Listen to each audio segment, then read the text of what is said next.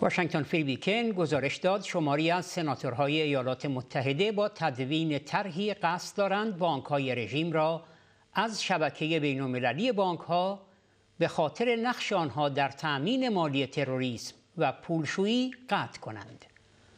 این طرح که در اختیار فریبیکن قرار گرفته تمام بانک های رژیم را به خاطر حمایت از تروریسم و پولشویی محکوم می کند و محدودیت های بیشتری را اعمال می کند.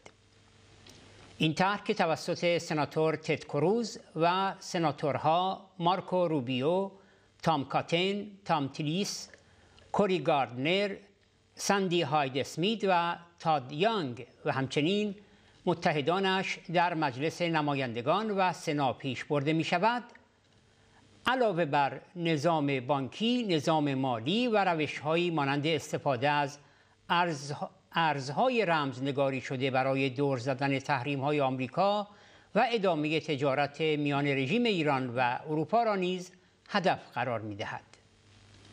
سناتور تد کروز درباره طرح پیشنهادی جدید سناتورهای آمریکایی گفت بر اساس برجام اوباما میلیاردها دلار به رژیم ایران تحویل داد و این رژیم را به سیستم مالی جهان وصل کرد. رژیم ایران با استفاده از این امکانات پول بیشتری را پولشویی کرده و برای تأمین مالی تروریسم به کار برد. جبران این خسارت نیازمند اعمال فشار حد اکثری به رژیم ایران است. اقدام رئیس جمهور ترامپ در خروج از توافق هسته‌ای کاملا درست بود. گام بعدی ضروری قطع مؤثر دسترسی رژیم ایران به نظام مالی جهانی است که کار کرده این طرح است.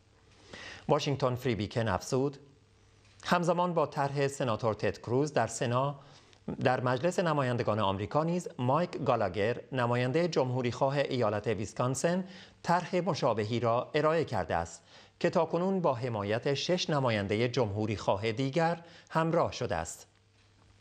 مایک گالاگر گفت پیام این طرح روشن است.